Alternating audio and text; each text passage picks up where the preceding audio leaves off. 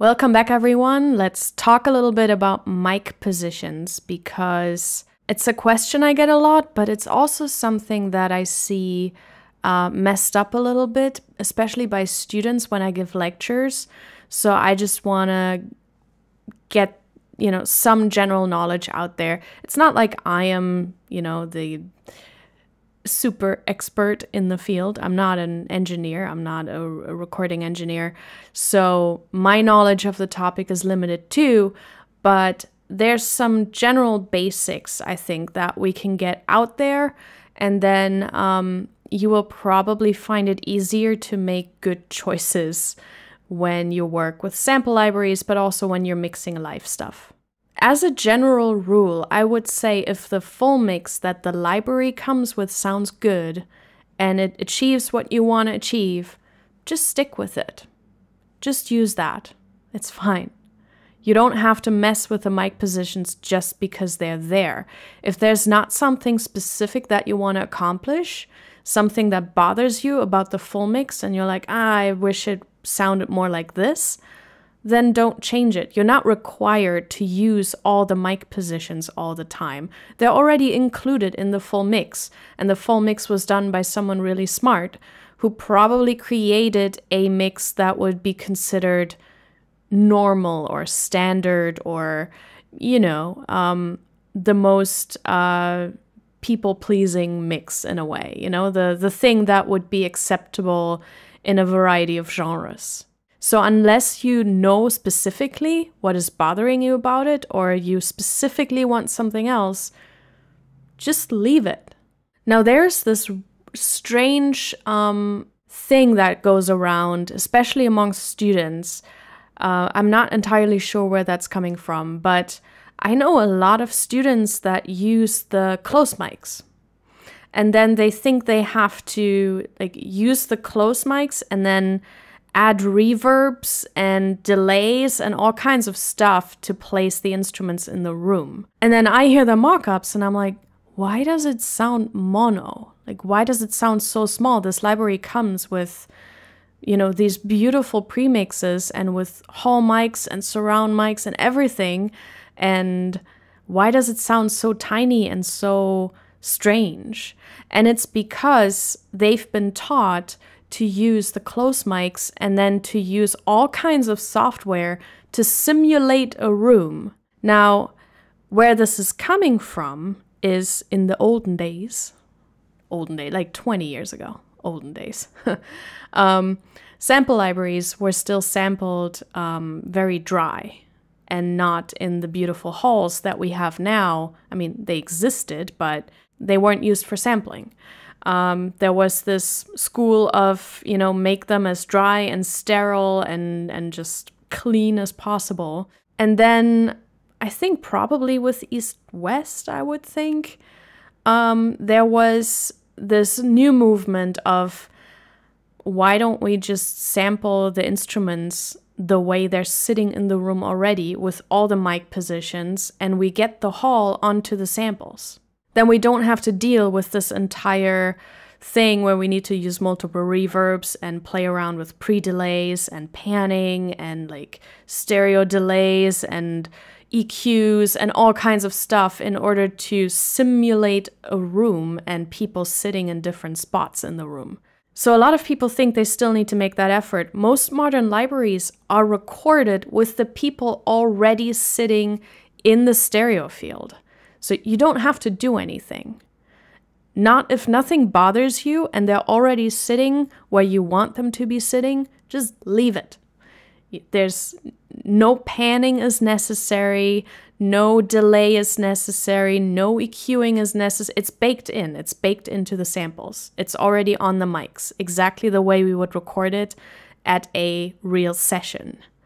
So, sure, sometimes I have it where I'm like, mm, I really wish, you know, the trumpets set a little bit further to the right. And then, you know, I might do a tiny, tiny bit of panning further to get them a little bit out of the way. Or, you know, there there are moments where I want to pull it apart a little bit more or something, but that's not the norm.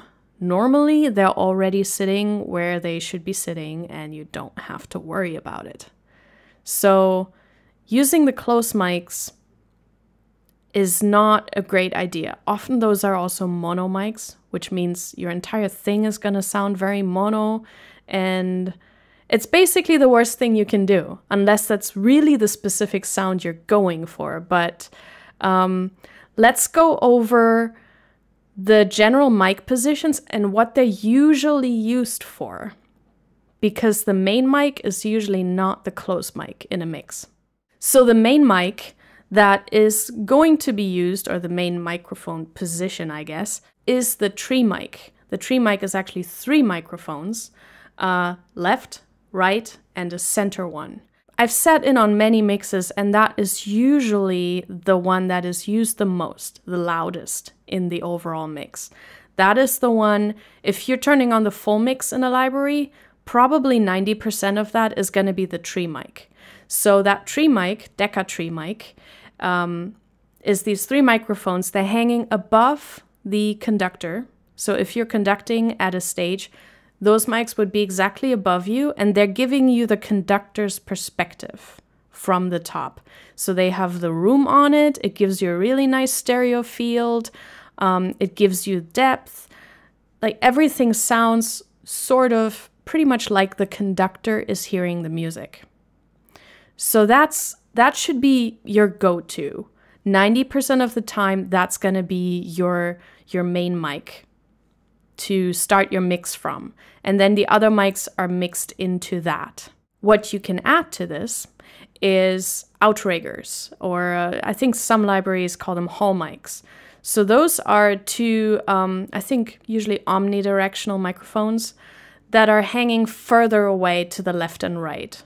So um, since there's so much space between the conductor and the outer uh, edge of the orchestra, in between that, you have another pair of microphones that create a little more depth and especially more width. Sometimes in some halls, I actually like these more than the Decca tree.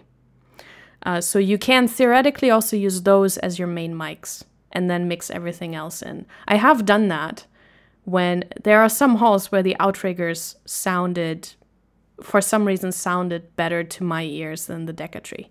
But doesn't matter. So these are gonna give you the outriggers and the Decca tree. Technically, the outriggers are an addition to the Decca tree um, to give it more width. And usually that gets you 99% there. It's gonna sound gorgeous if you just use these mics. Now, what are the other microphones for?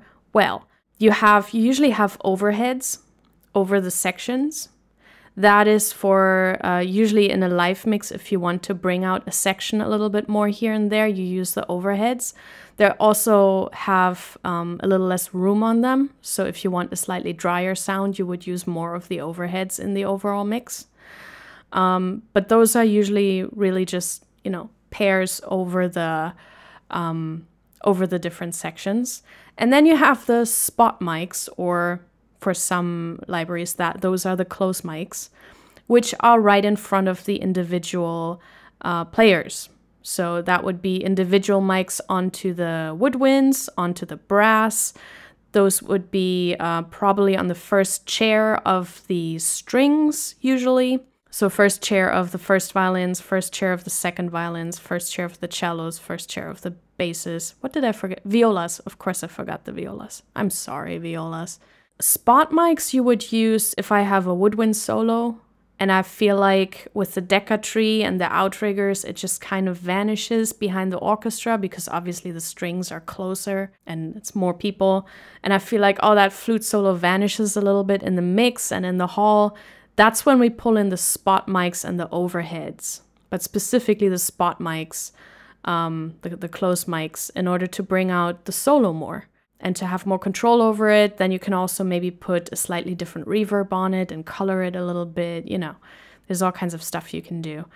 Um, so that's when we use those. Or I had a cue, a couple of cues where the trumpets were doing this really fast stuff, and that's when we would mix in more of the close mics of the trumpets because we wanted this crispiness of the trumpets in there and not the wishy washy hall that was kind of washing out this really cool stuff that they were doing.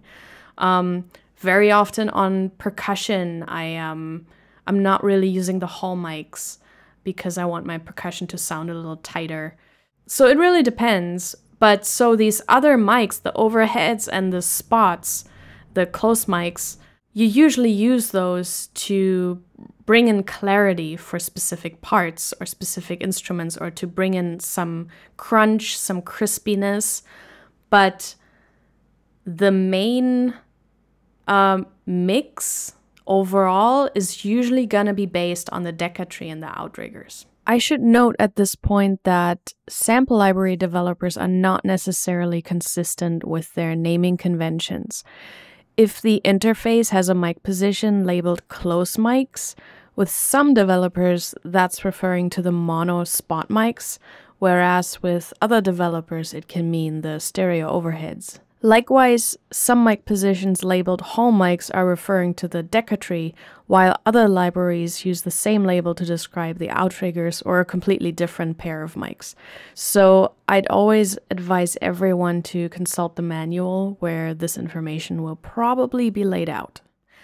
And then you have in a lot of libraries surround mics as well. Those are um, pointed to the back. Usually, we use those when we deliver a surround mix, that goes onto the back speakers, basically. Um, so those are actually just recording the back, and then we also just put them onto the back speakers on the left and right surround to create the feeling that you were actually in the conductor's position. That's basically what they're hearing in that moment. Um, so it's the back reflections. Um, you can use that if you want. You can also use them in a in a stereo mix. I usually don't, but I don't think there's a rule against that or anything. Uh, if you like them and they sound great and you want more room in your thing, more than you are given with the Decca tree and the outriggers or hall mics, then by all means use those.